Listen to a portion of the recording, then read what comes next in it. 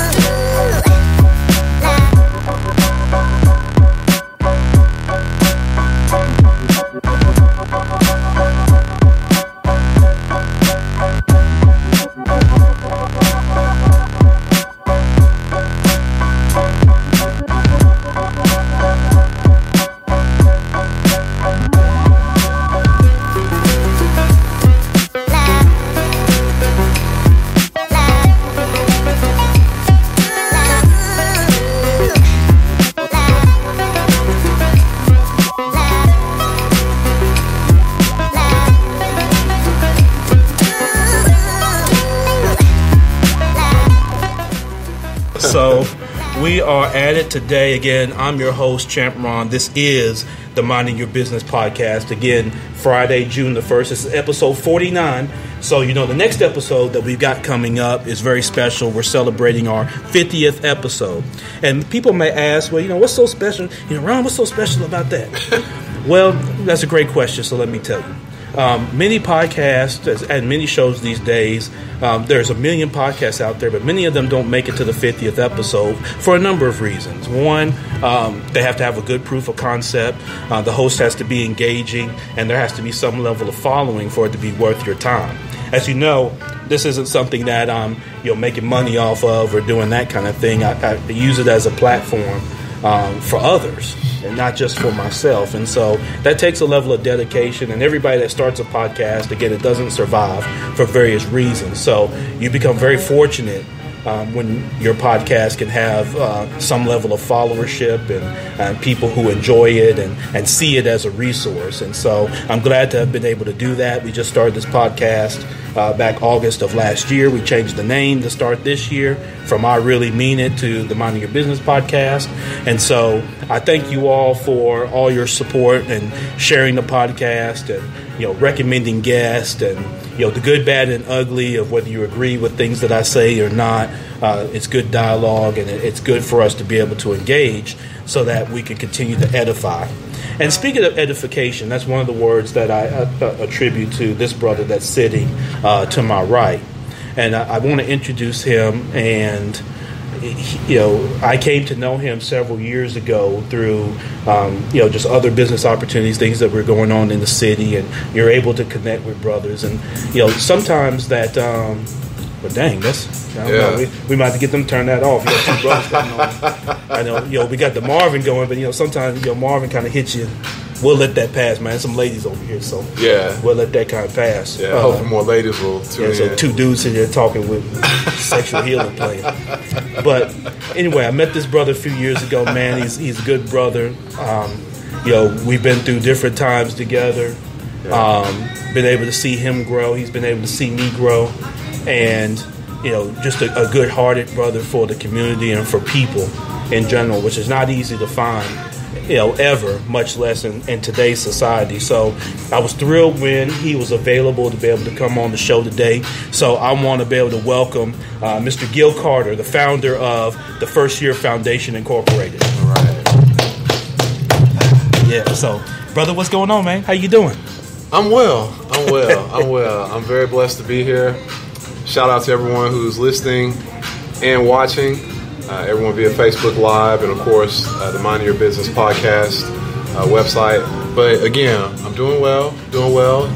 I always have challenges, but know, we I, all do, man. Yeah, I mitigate yeah. the circumstances with those, and you know, continue to move forward. So I'm definitely blessed to be here today. Yeah, definitely, definitely. So, so what's going on with you? What you got going on these days? Um, you know, and tell people maybe a little bit about your background and kind of how you've gotten to be here. I know you've got uh, an extensive background and you know interesting background yeah. uh, for those that uh, may not be familiar. So, kind of share with them, you know, how you got to this point. Mm-hmm. Academically, uh, I'm a student at the Lemoyne College. All right. So I'm very proud to not only represent Memphis as I do things, but represent LOC. I'm very proud of our school and how, from a transformational point of view, it has grown. Yeah. You know, and there's much more growth to be facilitated by leadership there. And, you know, there are some prevailing thoughts about how that uh, growth should be uh, facilitated and whatnot. Uh, yeah. But I know it's going to happen for the better. Uh, so shout out to everyone uh, over at LOC. Yeah. Uh, magicians in the house. Uh, you know, definitely uh, blessed to be part of such a great institution. but with that background, specifically with business administration, business management, interestingly enough, the majority of my work experience since I've been a Memphian, that's going on 17 years now. Okay. Very proud to say that. Yeah. Has been in uh, child welfare, nonprofit management. So from that, I started the First Year Foundation Incorporated, okay, uh, which is known as First Year for short, and we are a nonprofit organization with the main focus of the dramatic reduction of fetal and infant mortality here in the city and the county. And we have a specific focus within that main focus of helping women achieve optimal maternal and reproductive health through emphasis and execution of fitness, health and wellness, and proper nutrition. So I was able to marry two of my affinities. I was able to marry my yeah. love for children, my love for physical fitness. Yeah. And okay. you know that's uh, arduous. That being growing a nonprofit organization in a city such as ours, where the philanthropic base is so strong. Mm-hmm. Uh, I know for the last several years, by the numbers, we've been number two to only Salt Lake City Metro in terms of major metropolitan areas where the philanthropic base, in terms of dollars, mm-hmm uh, for various uh, charities and outreach causes uh, uh, nationwide.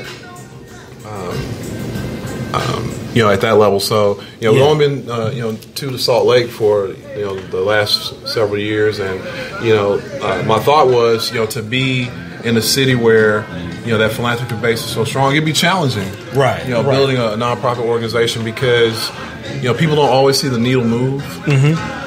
Uh, they don't always see tangible results. Right. But people think charity or nonprofit organization, oh, I can just freely give. Right. You know, I feel good about freely giving to a charity. I feel good about freely giving to a nonprofit organization. But again, behind the veil, behind Mm. the curtain, you know, they don't see the again tangible, Right. you Some know, results. results. from right. Yeah. right. You know, that that's a whole other conversation. That's a whole other podcast. I Right. don't want to get into the weeds on that, but I'm very blessed to be able to start first year and still growing it, still growing Yeah. it. Um, and I'm in the process of uh, writing two books. I'm a part of a book collaboration project right now. Uh, speaking of Facebook uh, friends, I want to give a shout out to Miss Angie Renee, who is one of uh, two parts of the dynamic duo in terms of uh, two fantastic sisters who are uh, leading this project. So shout out Angie. Yeah. And Taria Avant, uh, who's in Atlanta by way of Houston. Angie is in Atlanta by way of St. Louis. So I'm very blessed to be able to work with them. Okay. And then I'm also in the process of completing my manuscript for my first solo book project. And we're going to get into that just a little bit today. Yeah. At your leisure. So Yeah, definitely. I'm definitely excited to talk about that. Yeah, definitely, man. And so let's jump right into that. So, you know, tell uh, for the audience, you know, for your upcoming book. So it's your first kind of solo book. Uh, congratulations on that. Thank you. By the And way, you're writing on both foreword, projects. so Yeah, thank you. Yeah, yes, I am. yeah. So I was honored when you know Gil asked me to to write the foreword for the book, and I'm cer- certainly happy to do that, and, and will be doing that, and Thank want to make sure I deliver the, the, the level of quality and standard that you'd be looking for. Thank you. Uh, for something like that. So something I, I do take serious. Mm-hmm. Um, for the book, in terms of you know what's motivating you, what's the book about, and you know what's kind of the motivating factor behind it for you. So the book is about the need for black Americans, not just in Memphis, but across this nation, to always shape the narrative and then control that narrative respective to where they live in the core of major uh, American cities across the country. Always shape the narrative. Imagine what your neighborhood should look like. You know, if you're just speaking to yourself or if you're speaking to you know other brothers and sisters, you know, that should be part of the call. Imagine what you want for your neighborhood to look like, especially your neighborhood that you grew up in.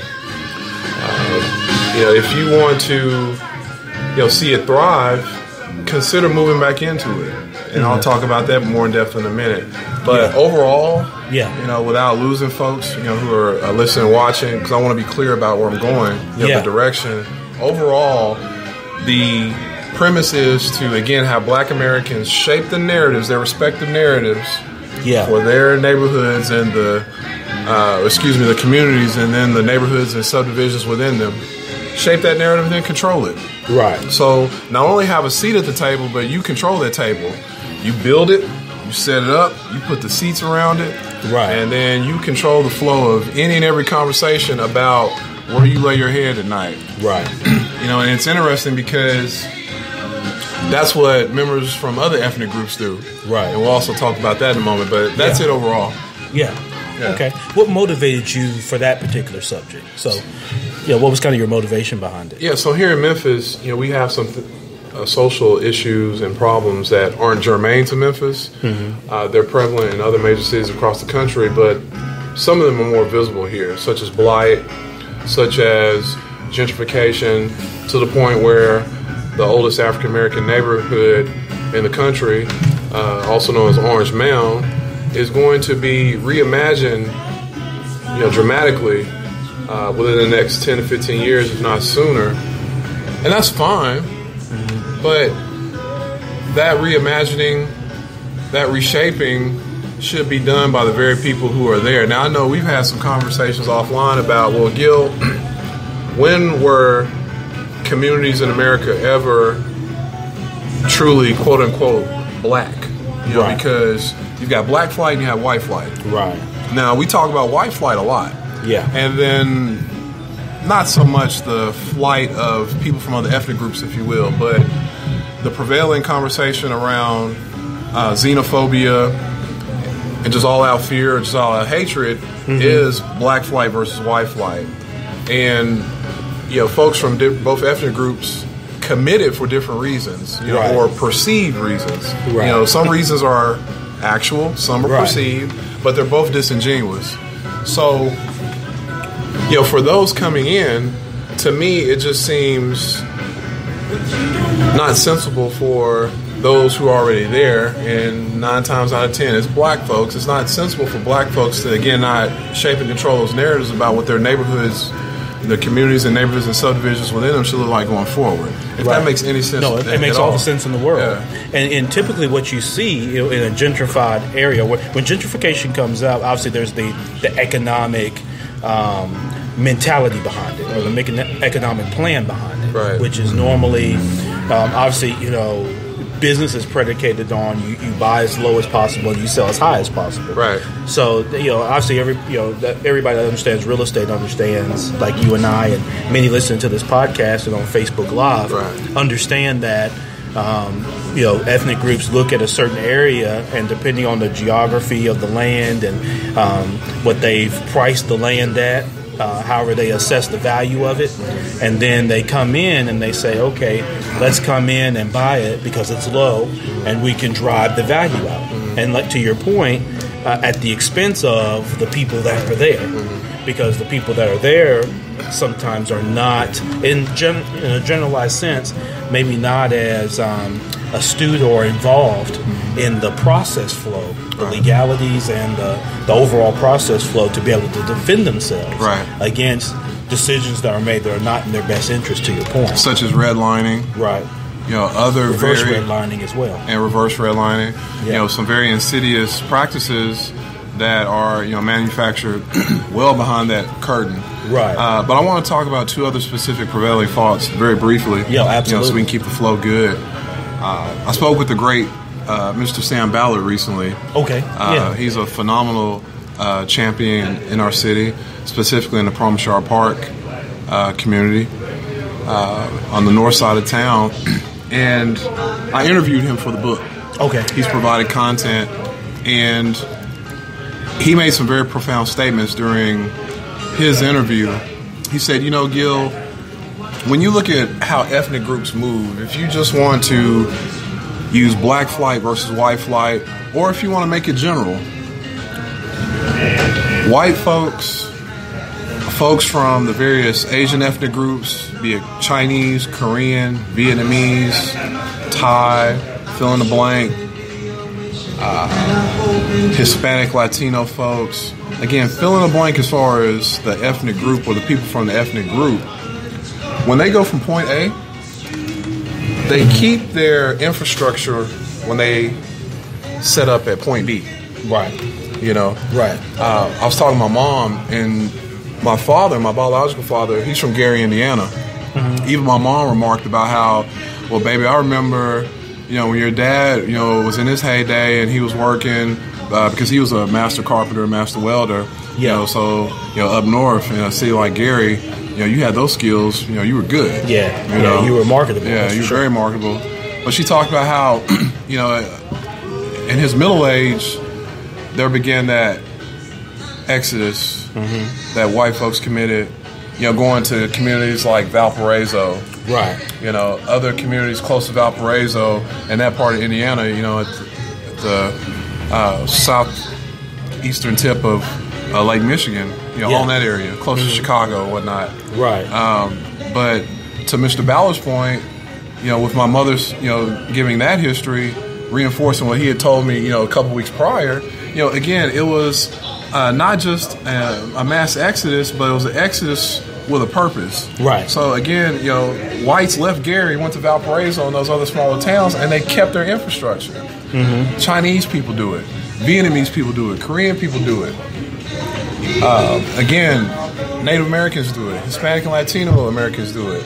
But what about us? You know, we talked about we being Mr. Ballard and I talked about how when we commit our black flight, we look to integrate versus going from point A.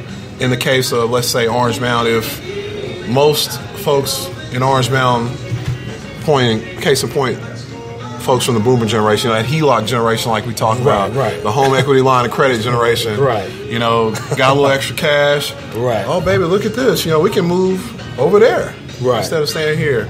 That's what happened. You know, our great grandparents, grandparents, they did that. Some of our parents, Right. you know, and they thought that moving to uh, areas that were predominantly white or predominantly this, predominantly that were better.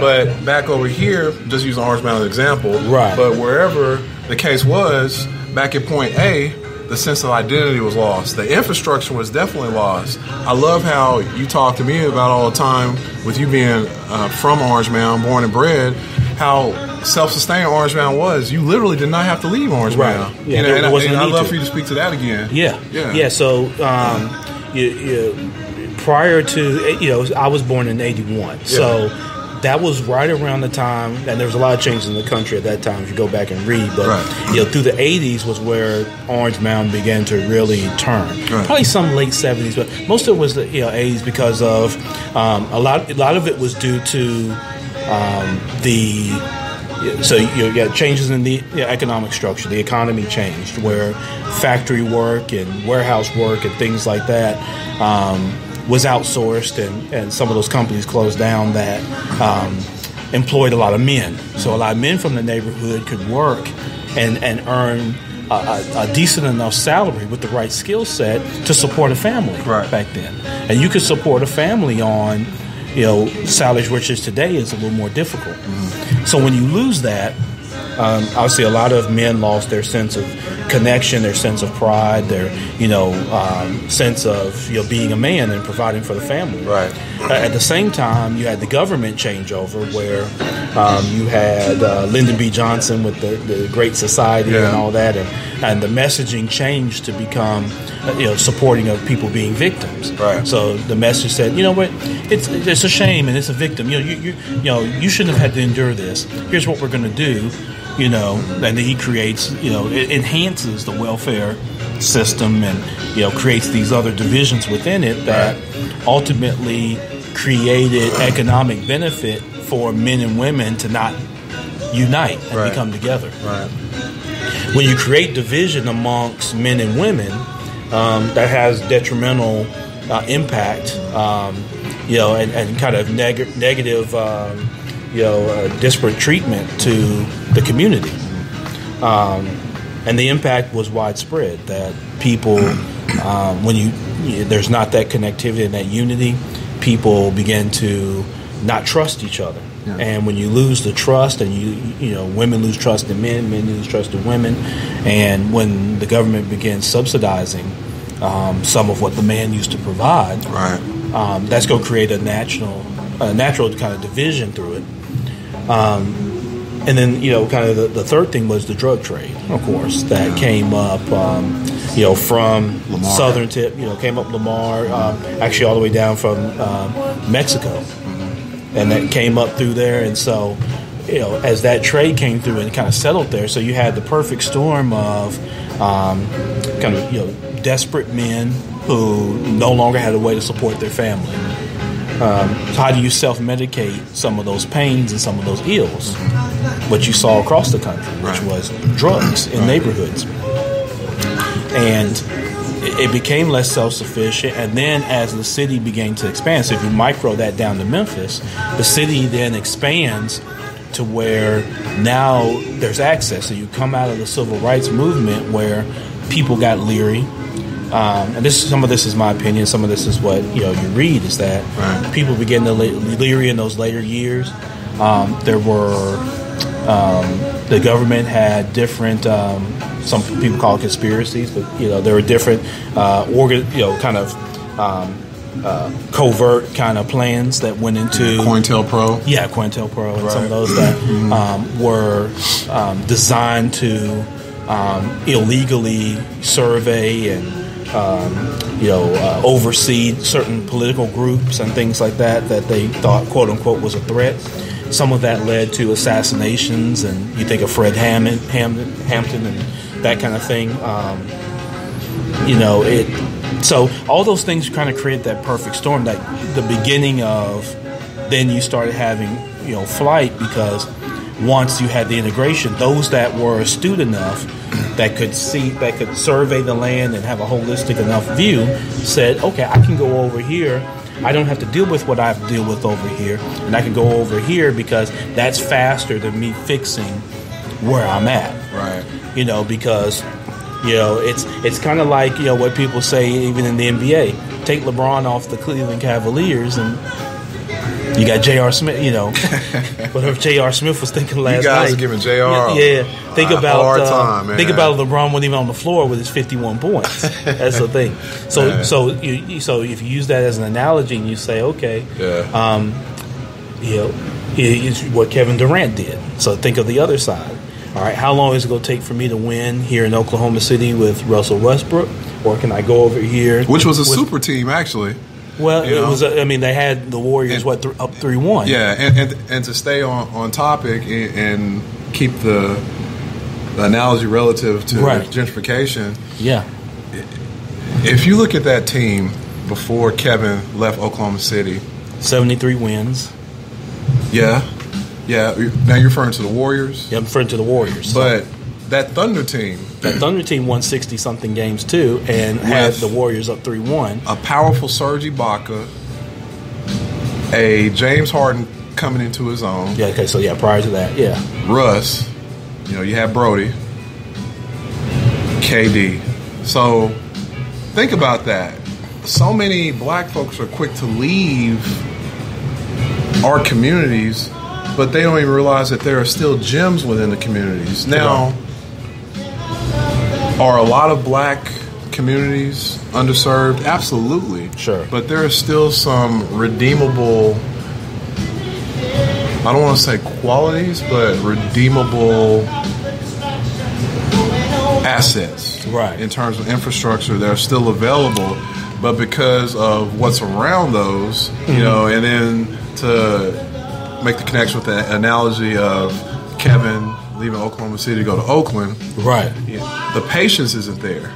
You know, like you said, how long am I going to have to wait? How long am I going to have to wait on this grant? How long am I going to have to wait on this uh, traffic camera? How long am I going to have to wait on these speed bumps? You know, like you're saying, okay, how long, you know, is Russ going to develop into a Yes. pass first point guard instead of so shooting you, first? You look at it you from know, a micro that. level. So at a Right, very micro. micro. level to yourself, you say, okay, yes, it would be great if me and everybody else stayed around and learned to win together and things like that. Yeah. The challenge with that is if you're Kevin Durant, and then this is how people in the community think is.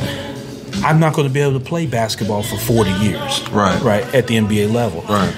I've already been in the NBA 10 years. Mm-hmm. So I've got more basketball behind me than in front of me. Right. And that's how people, you know, think even in the community. So they said, okay, I, I want to win a championship.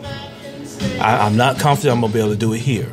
So I can become Charles Barkley, Reggie Miller, Patrick Ewing, everybody, John Stock, everybody that never, Carmelo, everybody that never, the greats that never won a title. I can be in that category, or I can go and win a title with the caveat that, sure, people are going to bust me up in the uh, uh, now, but 15 years from now, when everybody's kind of forgotten about it to the most part, for the most part, I'll be reveled as a champion, Right. and revered as a champion, Right. And so people, that's that cataclysm that people kind of face is. I think most people at their core want to be able to help the community, but they look at it and they say, look at all the ills, and it's it's not just what you see. You know, you know, you have economic slavery and you have a, a depressed mindset. Mm-hmm. That's what's difficult. It's just like and the they- biohazards too. Right. You know, blight. You know, blight is more prevalent here in Memphis, Right. in my opinion. That's just my personal opinion. But blight is exacerbated here. I think it's exacerbated by the fact that so many of us are leaving out, and I'm going to get to that very specifically Sure. uh, as a part of my call to action. It's not a plan. Mr. Yeah. Ballard and I talked about that too, because there's so many plans out here. Right. But how many of them are being executed? That's why I just left what I have as a call to action. Yeah. But but go ahead. Yeah, no. So you know th- that's really what you know ends up coming. So people have that Kevin Durant mentality. Right. They do it with the job all the time. Right. Like like how many people like people that slam Kevin Durant? I guarantee you there there are people whether they're on Facebook or listen to this podcast that if the, the company across the street offer a dollar more per hour. They're gonna run. you know what I mean? Twenty five cents. I used to have when I was in banking. I had tellers that left fifty cents an hour. Deuces, Ron. Right. you know what I mean? Right. And they'd go run to the bank across the street. Yeah. Fifty cents an hour. yeah. He left. He took supposedly less money, but to go win. Right. And so that's what people will do is they'll go where the infrastructure is already built out. Mm-hmm. It's like what I'm trying to build over here, they already have, and I'm not going to have another chance to be able to go over there. But here's the thing. No, go ahead. Go Yeah, so if you put that as in the same fashion of, you know, What's going on? Um, if, if you if you think of that in the same, you know, in terms of the timing piece of it, and I say, okay, you know, I've got to be able to do that. I, you know, I, I want to be able to win, and I don't see it with this type of mentality Right. that they're going to be able to do it. You know, I'm limited on when I can do it, so I've got to make the move now. Otherwise, I'm never going to be able to make it. But here's the thing. Unfortunately, and unlike the NBA, when we're talking about black communities, Right. when that's done, collectively we lose control. Right. So Kevin didn't lose any control by going from Oklahoma City to Oakland to play for the Warriors and go on to win uh, very soon what may be three titles. You know, where's the control being lost? You know, Well, he- how's control being lost versus He how- lost some control of his narrative because then some of the writers and people that do the voting for the Hall of Fame and all that, they're holding that against him because they're saying, "Well, you you left where you had a team up three one, they won seventy three games, the most games in history, and you leave to join that team, Right. And somewhat shift the balance of power, you know, within the confines of the NBA. Right. You're, I agree with you. I think that um, you know, it, it's not the same impact in terms of we're using it as an analogy Mm-hmm. Right. grossly, but Right. um, it's not the same type of impact. But people use that same mentality. Yeah. They say, "Yeah, I'll be slandered for leaving South Memphis and going to Carterville," Mm-hmm. but you know, am I going to sit here on South Parkway and wait for this to change? And everybody, because a lot of people, like you said, a lot of people have plans. A lot of people want to go do stuff, and then it's the execution. Right. So it could be a hundred of us that all want to see this all better, but they're not willing to im- implement the plan for a number of reasons. That could be legit. They don't have the education, they don't have the skill set, they don't have the connections. Um, they're not available because they have to survive. They're they're at work all the time. They have to survive. Whatever the, the reason is, but so they say. And this is no knock on South Memphis. This is Right. no knock on Not. Collierville or, or any area that's mentioned in this podcast. We're not knocking it at all. We're just giving the thought mentality that hopefully people can relate to. Um, but so you go to Collierville and you say, okay, way less crime, um, way less of people who look like me. Although there's there's a good number of people out there that do look like me, but the infrastructure is already in place. So that the things that are the social ills, and this is what one of the questions I want to ask you, which is. Um, and people use this term, you know, devil's advocate and all that. And I see a lot of he's got a lot of advocates, so I, I don't need to. I don't need to add to it. I'm sure he's got and enough. fans too. Yeah, I'm sure he's got a net number of advocates. But um, just to provide a, a contrasting view to this, um, what are your thoughts, Gil, on when people say, and I'll walk you through kind of a scenario into my question. So you have, um, you know, uh, you know, John and and uh, you know Toya. Yeah, they're going to be shot at anybody named John and Toya. They say no, not going to, you know. I'll get an inbox from somebody named John and Right. Toya. Like, Yeah. so no, so you take John and Toya. They they both grew up in the neighborhoods and stuff. Um, they go to school. They fight their claw their way through school. Yada yada. They get their break, right? Uh, one or both of them gets a nice paying job, or the business takes off, and so now they're making the kind of money. Then they have children, and they say, "Okay, here in Memphis, um, you know, you know, where do we want to live to be able to grow our family? And they, they decide on Germantown. So they move and they they buy a three hundred twenty five thousand dollar house in Germantown, Gil, and they're out there and they say, you know, now Mama and Grandma, everybody still lives in South Memphis, right? And Westwood and some different area. They so they still live there. Most of their family still lives there. They go visit them from time to time. You know, they might help watch their kids. Um, they go there for the cookouts, the family reunions, and all yeah. And then, of course, at the end of the day, when they're done with all that, They go back to Collierville. Um, that family comes visit them in Collierville every now and then when they can. But that's their life. And they may say, we'd love to be able to go back. They may even own rental property in the area where they grew up. Right. So they, they that's their way of kind of giving back is let me create affordable housing or let me um, renovate yeah, housing and, and help the black situation. Now I'm not gonna go back there myself because I've got my nice 3,000 square foot home in Collierville that I don't have to worry about some of the behavior mindset ills that I see in my old neighborhood where I grew up. And my children don't have to see that either right? And so there's this balance, and sometimes they have this conflict. Like, yeah, I'll go back to South Memphis and I'll own rental property, right? And I'll, you know, I'll charge someone eight hundred dollars a month to rent this house, and I'll earn the income, and I'm helping out the community. But going back may be out the question for a company. It may be both of them don't don't see a value in doing that. It may be one. Like a spouse, you know, say the wife says, know, the husband says, "Yeah, I'd, I'd be willing to go back to South Memphis. There are a few nice sized houses and things like that." No, he says, "No, we, you know, we worked our asses off to get out here, you know, John. And I'm not sending my child to fill in the blank school, and I'm not, you know, going out there. There's no Target, there's no Walmart, there's no, you know what I mean? There's no this or that, Yeah. right? The grocery store is, you know, eight miles down the street, and you know, I would have so so several rebuttals. Yeah. So what would be your rebuttal to that? I would have several. One of them is the fact that resources are being allocated in unincorporated parts of counties where major metropolitan areas are. Uh, they're also being less allocated to uh, parts of suburbs that uh, have not been uh, rezoned for annexation Right. uh, by major metropolitan areas. Case in point, right here in Memphis. And I think Cordova is the prime example of how uh, encroachment uh, is more prevalent there. You know, you have you know some considerable parts of Cordova in which roads don't have lights. Uh, you know, my best friend was telling me about how where he lives in Cordova, which is deep in Cordova, you know, deep uh, east northeast. There are no street lights on his road uh, for a considerable portion of it.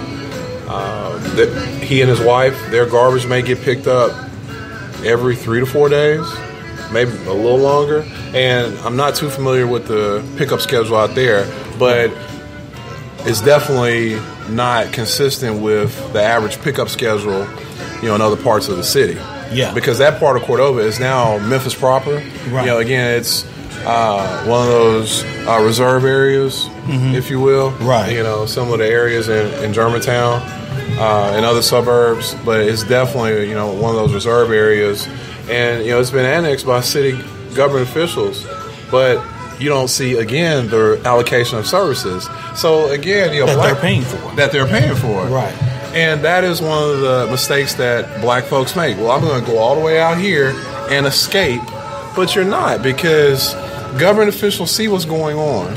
Okay, they see that we are continuing to to flee, to fly, you know, to the suburbs and Right. you know even uh, to parts un- unknown almost. Right. You know, in large numbers.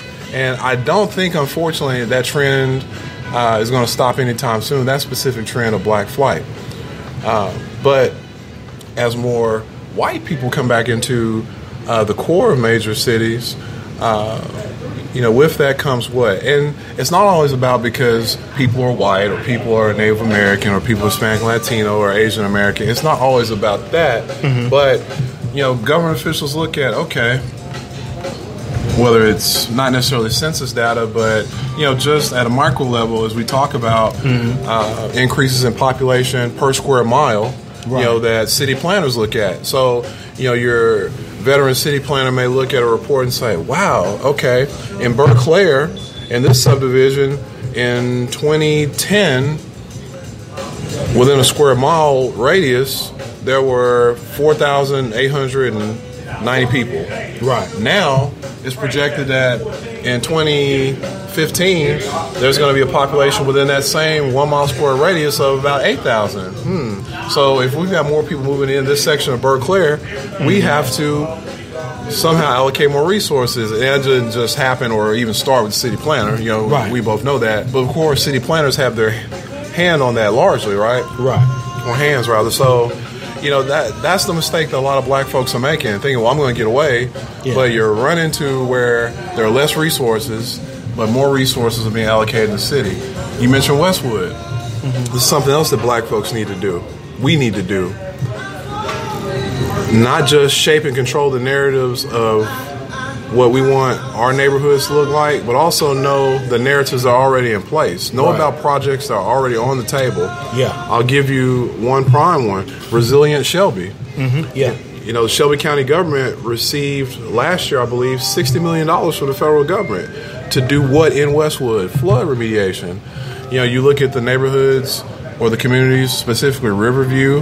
Right. Uh, French Fort is a little more. It's a little more, yeah, to the Yeah, to the yeah. I mean, it's north, yeah, it's, slightly, the northwest. yeah, and closer to the river, but and close yeah. to the river, but Yeah. but flooding doesn't occur in French Fort, not even close to the Riverview community, uh, the majority of Westwood, and flood remediation is being done, but not just flood remediation. You're going to have new greenscapes.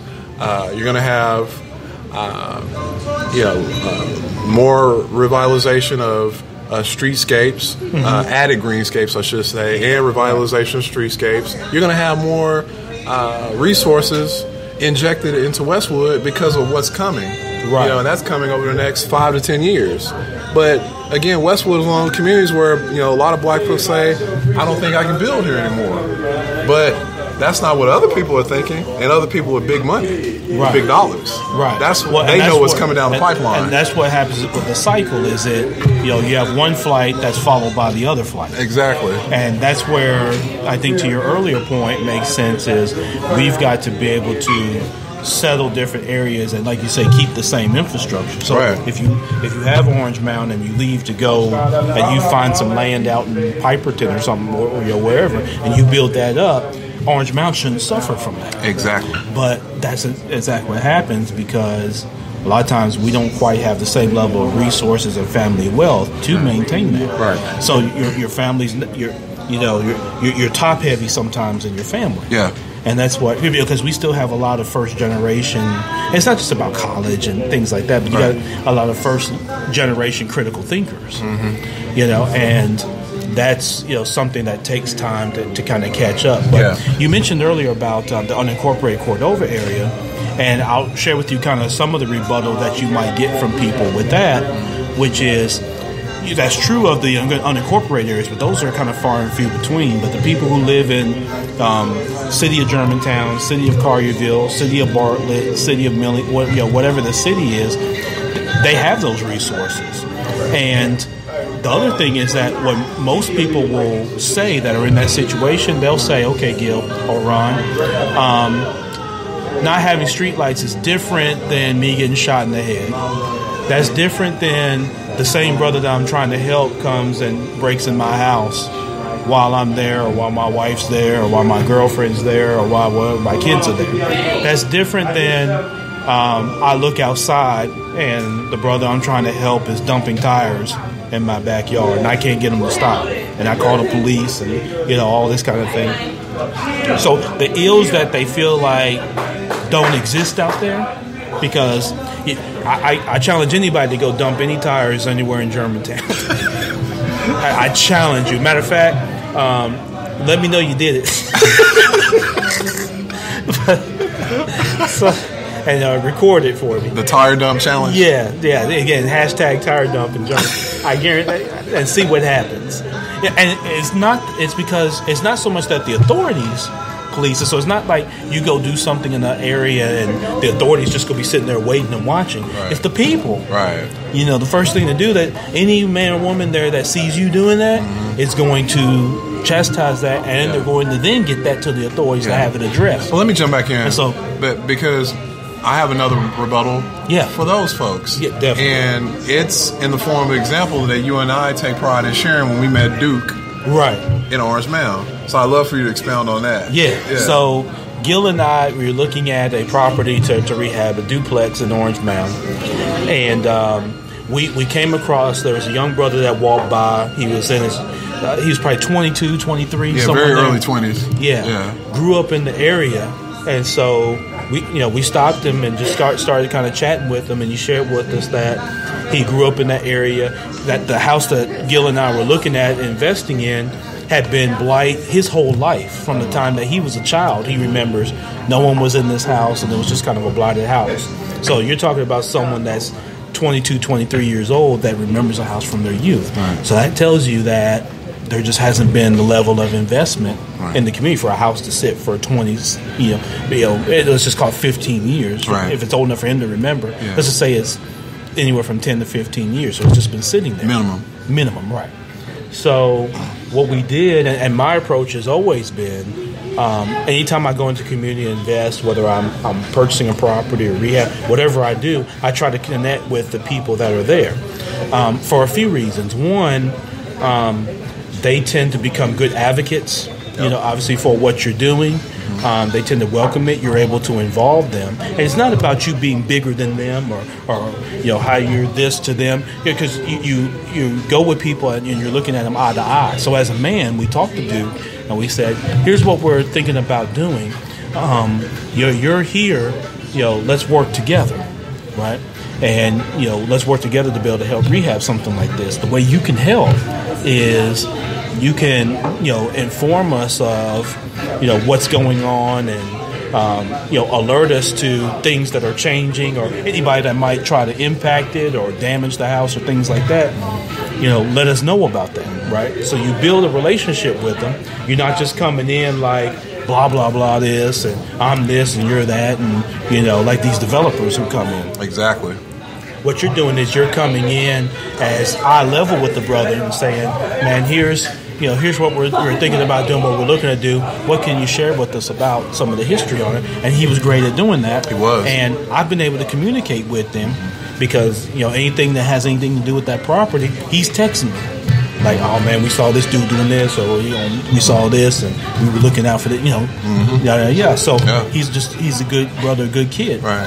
and you know sharing some things with him on some things that he can work on to you know help improve his situation and things Yeah. like that to be a resource for him so it's a it's a it's a two lane street but Yeah. So- but yeah so he's So that would be one of, of several examples that I would uh, share with you know folks in their ivory towers in Germantown and Bartlett and Right. certain parts of Cordova and Arlington and Lakeland and fill in the blank. And unfortunately, this is a reality, and I, I want to go off course very quickly, get right back on. But we live in America. We live in a violent country, so harm can come to any of us anytime, anywhere, due to the, the reluctance of our federal government to make widespread sweeping reform in regard to gun control. right So many other factors make this reality the stark reality that it is. So just because you're in Germantown, it doesn't make you invincible. It doesn't make you uh, or your respective subdivision impenetrable. You know, I mean, we're still in America, and there's things that we have to deal with in terms of uh, public and personal safety. Now, again, at the micro level, Right. to keep everything, you know, sensible. Of course, are black communities underserved, or many black communities underserved? Yes, but with the example that Ron and I just shared with everyone, there are so many young brothers and sisters who just want an opportunity to have ownership. And that's one of the points that I have in my call to action. When you provide ownership to young brothers and sisters who are looking for it, and of course, you, you can't be fearful, you Right. can't be apprehensive. You know, you have to lead at the tip of the spear and say, you know what, I'm going to take a chance and give this young brother, this young sister, opportunity to have not just some engagement with me, but going past the engagement, an opportunity to lead.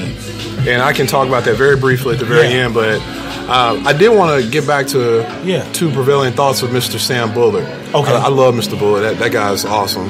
yeah he said a lot of things that are going to make a lot of folks mad, or would make a lot of folks mad. Right. I'm telling you, he, he, he's he would step on some toes. But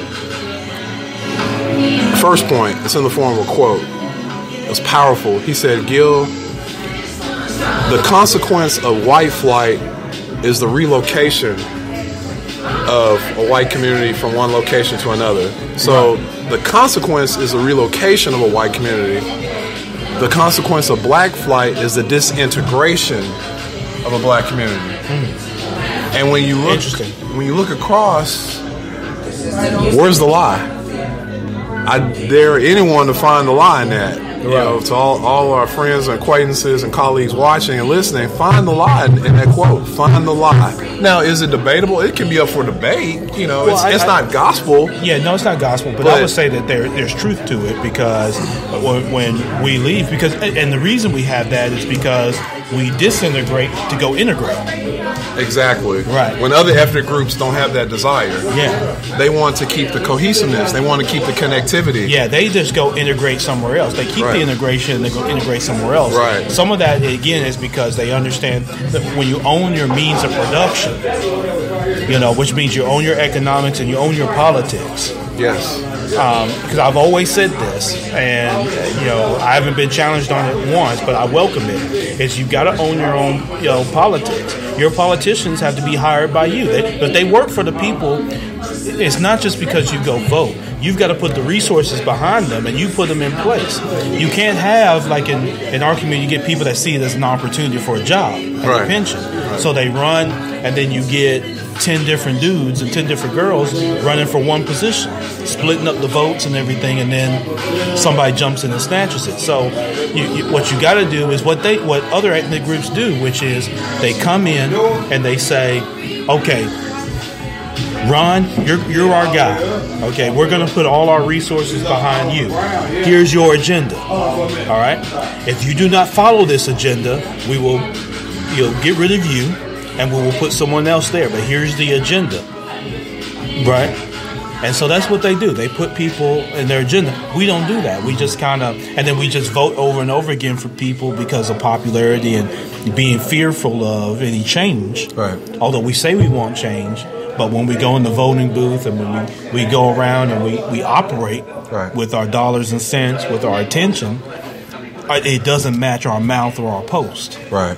You know what I mean? Yeah, That's- definitely, definitely post. Right. Oh yeah, yeah. So the you know, you know their, their actions, their mouth, and their posts don't all jive together. Right. You know what I mean? And so Right. then they don't. They don't marry. right, and that's where you have the disintegration. I think because of that. Mm-hmm. Yeah. Um, because it's you know when when you do own your own means of production, it's easy to attract others because you then have the infrastructure. Right. So you you, you know you can go to the court and, And- you can put up your own goal. Yeah, and I But think until you have the ball, And I think that's what we were Yeah. getting at with the analogy own your own with, with KD going from OKC to Oakland. Mm-hmm. it- the means of production, he was going to increase not just only his means of production, but his opportunity to win a championship. But when we disintegrate, the likelihood of us having any level of a means of production is, you know, dramatically reduced. right? So, yeah, I, I wanted that to be clear in that Yeah. analogy we're making. Yeah, definitely. no, it's a good point. Yeah, but quickly, the second prevailing theme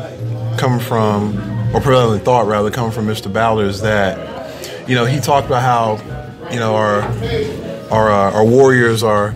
Our, our elders from you know that baby boomer generation, that that HELOC generation, Right. You know, and to make it unique to Memphis, how you know older folks who graduated from Manassas back in the day, BTW back in the day, uh, you know Hamilton back in the day, Right. You know, you fill in the blank. You know, they're proud of the communities they came from, Right. but they don't want to go back. It's like, oh yeah, Orange Mound, you know, South Memphis, you know, fill in the blank of, of with any community that's you know in South Memphis, geographically speaking, Right. You know, North North, you know, uh, you know, Douglas or Right. Smoky City, you know, Binghamton, you know, fill in the blank. They're still proud. They have that pride, but they're not about to, you know, rush in. Well, and a lot of that pride sometimes is geared in ego and bravado. Right. So that's the center of it. So we, we uh, particularly with the men, it tends to be used as as essentially to equate that um, you know, I, you know, I'm bad, I'm big, I'm tough because I'm from there. Right. Right, Right. Because I'm from fill in the blank, Right. Neighborhood, Even though the- or even though there's no kryptonite there, there's no vibranium. You know, even though they don't own any piece of it. right. Don't even own Right. own so they're lot. yeah. prideful of things, Right. and it's like like Jigga said, you know, they don't even own. You know, Mama don't even own her own lot. Right. Don't even own where she lives. Right. You don't own where you live. Right. But you have pride in the area that you don't own and land that you own. You know, Right. it's just like you go down to Wolfchase Mall and you just stand in front of it like you're proud. Man, look at this. You know what I mean? Look at you know, look at this. Chili's. right. You know, Barnes and Noble. Right. Starbucks. Yeah, Cheddar's. Yeah. Yeah, Cheesecake Yo, look at all this that I've got. You know, I'm, I'm from Cheddar's, man. You can't, you can't mess with me, Man, silly, man. You know, you know what we do to people, man? If you from Chili's, man, you can't come over to Cheddar's. Right, right, You know what I mean? right, You know what I mean? We, we don't serve them folks, man. Right. We from Cheddar's. We throw up our C's. You know what I mean? We do our little dance. And that's our pride in it. Right. You know what I mean? Right. But we don't, you know what I mean? But we don't own any piece of it. Right. So you see how silly that sounds. Right, But right. that's how we are. Right. And so what happens, and you see this around. And don't get me wrong, personally, I don't find it to be uh, hilarious or uh, foolish for anyone to have pride in their actual community. No. But again, to Ron's great points, you know, ownership. yeah, the, the pride should transition Right. into um, what are you doing there? Because Right. you know, as the other thing that people do, particularly with schools, is you know they they shout out their school, they have pride in their school, they won't send their kids there. Exactly. You know what I mean? It's weird. You see that, like, you know, take, you know, and I don't want to start shouting school, you know, people get upset, but, you know, like when they were going to shut down Carver, Right. you know, folks shout out Carver, or they shout out whatever school, but then they send their kids to White Station. Right. They send their kids to uh, some other school in some other area. Yeah, but you know, we and, again, and, and there's some reason, there's some legit reason for that Yeah. because your areas change and things Yeah, like that. So but not, you know, but we've used BTW as an example. BTW is a hell of a school. Oh, yeah, no truth doubt. be told. Yeah. you know, so Yeah. you know the this cloud that's over it at times. You know, it's not The one example we got where we have kind of stayed somewhat, even though this wasn't an area that was originally um, predominantly, uh, you know, black, is Whitehaven. right? You know, you know, Whitehaven, which you know, you know, most census studies will tell you that is, um, the, you know, that zip code of three eight one one six and kind of around there is um, one of the more wealthy zip codes, if not the wealthiest in Yeah. the in the county. Absolutely. Um, and and so there's a lot of people who stayed there. That's one of the ways that it, it stayed wealthy was you know people moved there in the 60s, and, you know, mostly in the 70s, and they stayed. Right? Right. so they you know they've been there now going on 50 years, so they paid off their house. Right. So they don't have quite the income, but they don't have the debt. Say like a Germantown does, where you know the average house price is in the 300 and fifty thousand dollar range or whatever it is. Don't quote me, but um, so people have a lot more debt. They may have a higher income, so you may have six figure income, Right. But now you've got younger kids and you've got more debt, Right. And whereas someone in Whitehaven who bought their house way back when, and for the most part has paid that off. So you know there's some different dynamics with that, but yeah, I mean, Right. Yeah. So I'm, I'm interested to know if we've got some engagement on the thread. If anyone has any questions or comments or Yeah, so feel free if you're on the Facebook Live. Those are listening to the podcast. We're on Facebook Live on the Minding Your Business podcast page, and and for me, Champ Ron. Uh, my guest again is Gil Carter, the founder of the First Year Foundation Incorporated, joining us and giving us you know great content. But if you happen to be on Facebook Live right now. Uh, y'all feel free, man, to uh, comment if you've got questions, if you agree, disagree, um, whatever it is. If you've got a contrasting point, uh, definitely share that. But so we've kind of aired out some of the ills of you know, and, and kind of looked at things within the neighborhood and things like that. Gil, let's get into the solution. All right. Yeah, So let's do that. You know, because you know we you know it, you know I always you know talk about you know we most people the reason plans don't get implemented is because we spend all day talking about the ills and Right. talking about the issues Right. and things like that. But um, so what would you say you know is a solution to attracting say suburban blacks and things like that back into inner cities with the idea of investing and providing that um, thought process towards the means of production. Well, you just mentioned one of the tangibles, investment, and how many of us can take advantage of being landowners in some cases for the very first time. Yeah. Uh, you know, land can't be manufactured. Right. Yeah, You you're not know, growing no more land. Right. Yeah. I, mean, we're, we're it's, it's over with in that Right. regard. So, you know, to be able to purchase, you know, lots, whether, of course, uh, through the Shelby County Land Bank, uh, also through uh, the Land Bank of Memphis. I believe that's the the private entity uh, in which you know folks can acquire land. But ownership is so key. Ownership Right. is so key. And again, like the example I gave, you know, of what's going to happen in Westwood, uh, that's exciting. You know, because again, you know, once that flood remediation is completed and the other improvements are made, uh, you know, property values are going to skyrocket.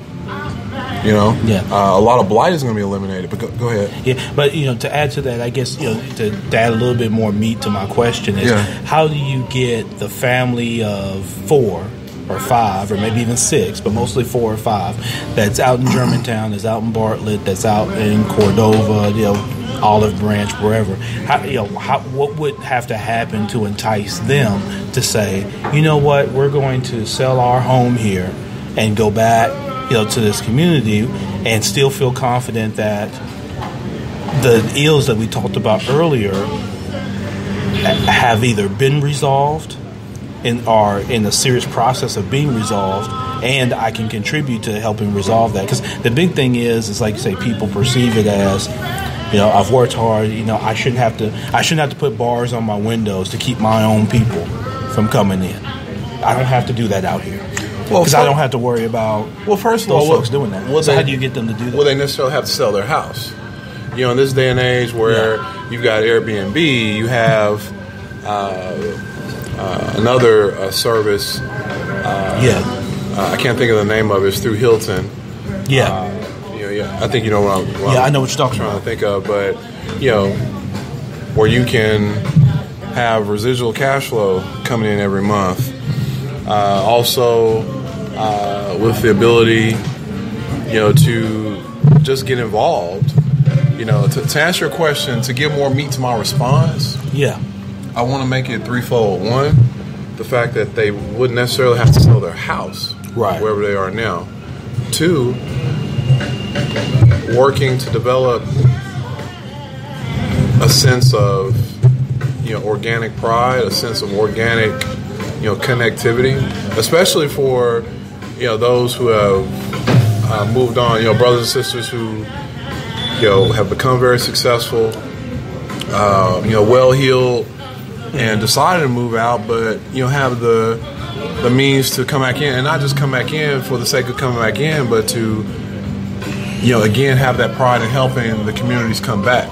Right. You know, and number three, I know schools is big. Yeah. You know, now personally, I don't have any children, so I can understand how the specific uh, issue for brothers and sisters who are apprehensive about coming back into our communities is schools. Uh, and I'm not going to use a comparison of you know schools in which you know horrific tragedies have taken place. I don't want to do that because I, I do feel that'd be a bit disingenuous and a little insensitive. But you know, again, we mentioned BTW. I mean, that's a that's a top school. But there are many, You know, many of the and- schools and- that people perceive as being one way Right. really aren't. Right, And- But most people, they just live off the perception. Right, To your point, right. Mm-hmm. they, have never walked a day in the school. You know, um, and so they don't know. They just look at the area around it. They watch the news and things like that. And they just think, well, that's how it is, and that's how it is all the time. Right. But until you actually walk in, you don't really know. So, you know, I'll add to kind of what you're saying. Um, what, what I would offer up as a solution would be is you've got to be able to begin organizing it. And it's, it's not an overnight kind of process, but what you've got to be able to do is start um, organizing in that area and start um, uh, from a collaborative standpoint, start um, unifying the resources and let people see that so that um, people don't feel like they're on an island. Because some people may sit in, in Collierville, Germantown, somewhere and say, I'd love to go back, but just one me is not going to change all of that. Right? But, you know, however, um, if we come in an organized fashion and begin addressing the infrastructure, then we can't we will make a difference Right. in that and so you know we're social beings And so if we, if, if it was to get organized to be able to go back, so use Orange Mound as an example. If you said, listen, we want to go back to Orange Mound. No, Orange Mound's exist, existing infrastructure isn't two and three car garage, all brick home, 3,500 square feet, you know, you know, uh, crown molding everywhere homes, right? That's Yeah. not what the existing infrastructure. Even though a mile away, that is part of the existing, existing is- infrastructure of Cooper Young. Right, exactly. Yeah, we're talking Um, a mile. Well, and not even as much Cooper You Young know, in, in pockets. yeah, in pockets. Yeah. Yeah. most of it is if you go um, just over the tracks to Southern, where you go into by the University of Memphis area, Right. up towards Central, Right. where you start having the bigger homes Yeah. and things like that, which Yeah. is still about a mile away. Right. Because even when I was young, you know, we used to play on the tracks right there at Southern, and then you had the golf course Mm-hmm. right there, which they were always making sure we didn't come anywhere near the damn golf course. You know, they, didn't want us anywhere near. Right. right?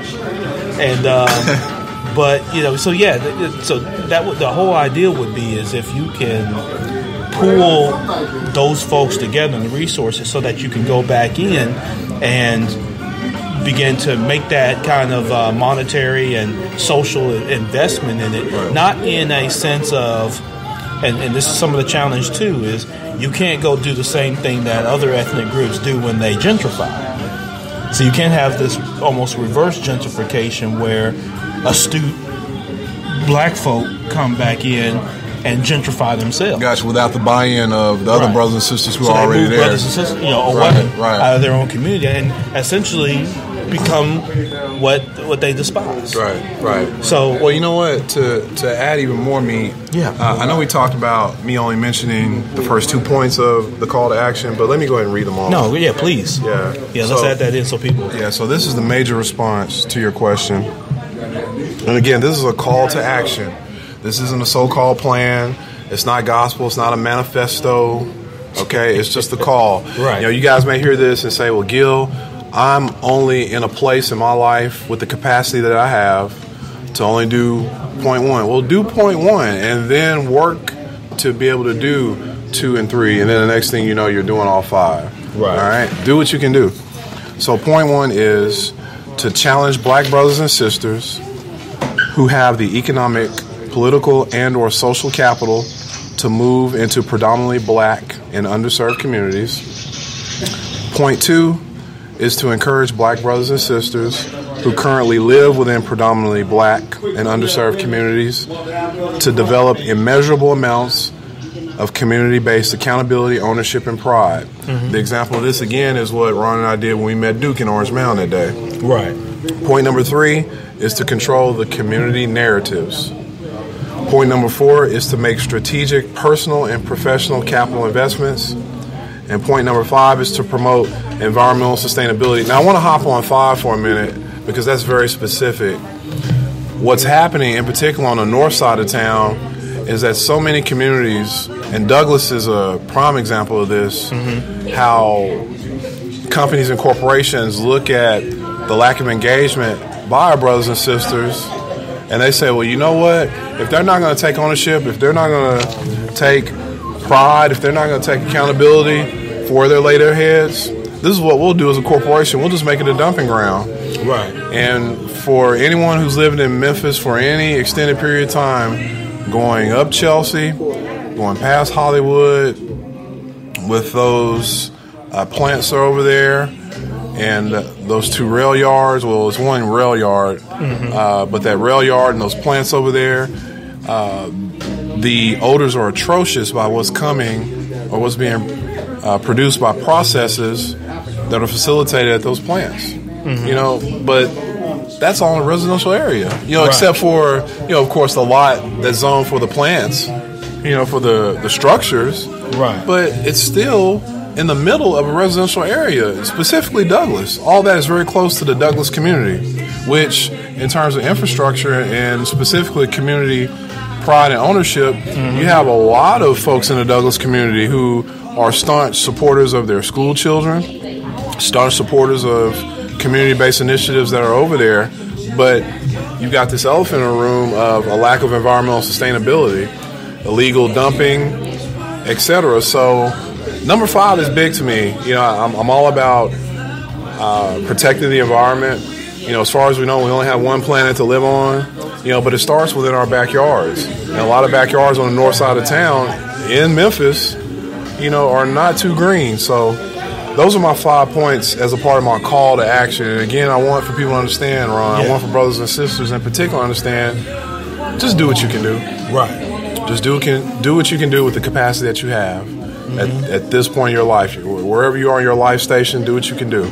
Yeah. But but we have to control the narratives. We have to shape the narratives first, then control them going forward. And that Yeah. again, going back to my overall premise for the book. Yeah, definitely. And so those are points that are going to be brought and manifested into the book that Yeah. you'll bring out and, Right. and things like that. So speaking of the book, you know, when can they expect you know the book to be ready? I know folks are itching to be able to get their hands on it and kind of check out the content. So Well, I'm looking can expect it? I'm looking to drop it next year.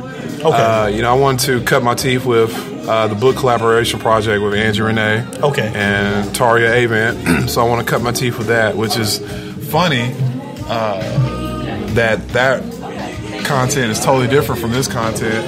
Uh, but you know, it's gonna be fun. But Okay. yeah, again, to make sure everyone's clear, uh, I'm planning to drop it next year. I haven't decided on a date. Uh, but I will drop it next year, and I can go ahead and share the title, Okay. uh, or at least part of it, uh, because the title of the podcast today is a renewed imagination. But the title of the book, or the first part of it, is sidewalk imagination. So, Yeah.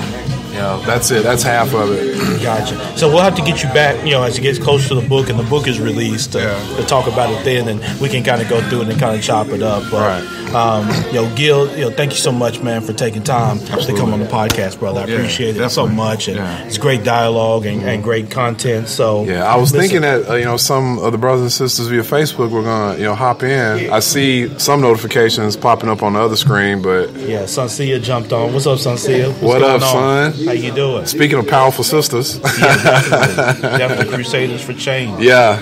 Yeah, we got that going. Yeah, how can people support um, the First Year Foundation? So what we're working on now, still working on, is our high tunnel project, and with that, we're going to be growing fresh fruits and vegetables uh, to distribute exclusively to pregnant women. And you know, one thing that's very identifiable in regard to infant mortality, and just you know, overall health of uh, of our people within the core of our major cities in general is food injustice mm-hmm. you know, food equality or the lack thereof. So we wanted to work hard to make sure that more pregnant women in Memphis can get access to fresh fruits and vegetables and ultimately herbs. You know, we want to do that through this high tunnel project that we're Yeah. offering. Yeah. So to answer your question, volunteers. Yeah, You know, we need hands on deck. You know, Yeah. we- you know, so to to get that thing up. So that. So how should they communicate with you? They're interested in volunteering or Yeah. like to share. You know, how can they get in touch? Our business line is 901 602 6370. You can look at our community profile through the Community Foundation of Greater Memphis, through their Where to Give Mid South profile. We have a dashboard on Where to Give Mid South. And shout out to the folks at the Community Foundation. Man, they are always doing fantastic things. Uh, I know Mia Madison once worked there. Mia left us. She went to D.C. Yeah. But hopefully Mia's checked in. She's listening and watching today. But uh, I love you, Mia. Uh, take care up there in Washington, the nation's capital. But Yeah. uh, yeah, again, big shout out to the folks at the Community Foundation for supporting us. But again, our telephone number is 901 602 6370. Please check out our profile through the Community Foundation of Greater Memphis, uh, their Where to Give Mid South portal. Uh, and I'll provide more updates as time goes on. Yeah. Yeah. Definitely. So, man, definitely appreciate you on that. Uh, I encourage anybody to support Gil, um, you know, with the, that particular project and, and various projects that I know that you're working on, that kind of thing. And definitely congratulations to you on the book, man. And Thanks, thank man. you again so much for coming on the podcast. Thanks. Listen, this And- weekend there's a ton going on. Make sure you support. I just saw uh, Elliot the Man uh, jump on uh, with Maine T-shirts. Elliot the main sales. Yeah, shout out to him, uh, Michael Suggs. Uh, What, Suggs is on here. What Suggs? yeah, I don't know if Suggs is on here, but yo, so yo, shout out to him, uh, Philip, Ashley, Rich, you know, that whole team. Um, you know, my, my, my guy Terrell Key. Yeah. Um, they, they're hosting uh, Keeping with- uh, School Daze. You know, that whole Okay. event that's at the uh, Orpheum uh, on tomorrow. So Okay. make sure y'all check that out. Um, if you happen to be out of town and you're coming in town you're looking for something to do on tomorrow, if you're familiar with the, the movie School Daze, um, you want to come. There's going to be a showing. There's a whole event that these brothers have planned around it, man. So And definitely Tisha, go be Tisha. Campbell on School Daze, What brings back memories. Man, man, man. Man, listen. Man, don't even get us started. Don't even get us started. Yeah. Shout out to all my Facebook friends, man. I know I've been off the book for a while. Uh, I've been pursuing other projects and uh, pursuing uh, work in corporate America as well. I'm with Tradebe Environmental Services, so I know some of you guys are wondering, man, where's Gil? But Yeah. uh, with the book collaboration, not my solo book that we've been talking about, but with the book collaboration Angie Renee, I actually have to get back on Facebook, which I probably will later on today. and that's how we're facilitating our communication. So again, yeah, go ahead. Yeah, so here's what we did. Um, we're going to trade J.R. Smith for Gil. and so we, we made that trade. We initiated that trade with Adam Silver.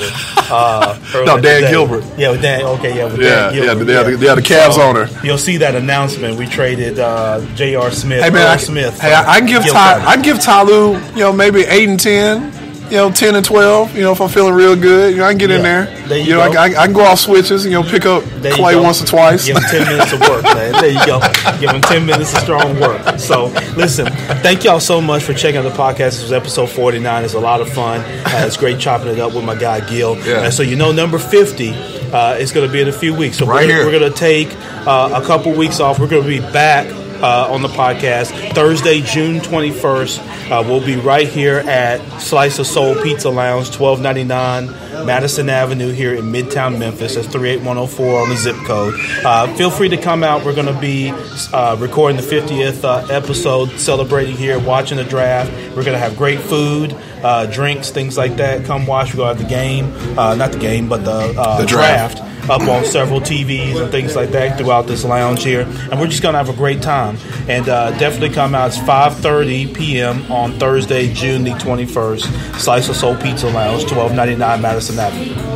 Yeah. So- Shout out to all the brothers and sisters, man, making powerful and positive impacts in the city. Man, we live in such a great city. I love Memphis. I love it all my heart. so many of you all are doing so many great things here, man. We love y'all, man. Yeah, we definitely love everybody, man. All positive vibes, man. That's what you get on the Minding Your Business podcast. It's just positive vibes. We know there's challenges, but again, we're not being naive, but we also know that there's a lot of positives and great things going with a lot of great um, brothers and sisters across, no matter how they look in the mirror. There's a lot of great things going on here in the city and, and all around. So Yeah. thank y'all so much for tuning in. Please share the podcast. Um, you can email me, uh, Ron, R O N, at the MYB, so Mary Yellow Brown podcast.com ron at the myb podcast.com share information. If you're interested in being a guest on the show we can have you call in. Uh, we can meet face to face i'm mobile with it. I don't have no fancy studio. You see i'm here in the lounge supporting business. But um, definitely if you got a comment and you want to share some information whatnot uh, feel free to do that. Connect with us on facebook and uh, look for the podcast youtube uh, on the website soundcloud stitcher uh, spreaker uh, apple podcast they're on itunes google play music anywhere else man check it out and then of course we're on facebook so again we're gonna be off for a couple weeks so y'all be good y'all behave and uh, we're gonna catch you here Thursday, June the 21st, and we're gonna keep it going. So, thank y'all so much uh, for uh, the podcast today, and uh, for tuning in. And uh, we're out, man. Peace. All right. Love y'all.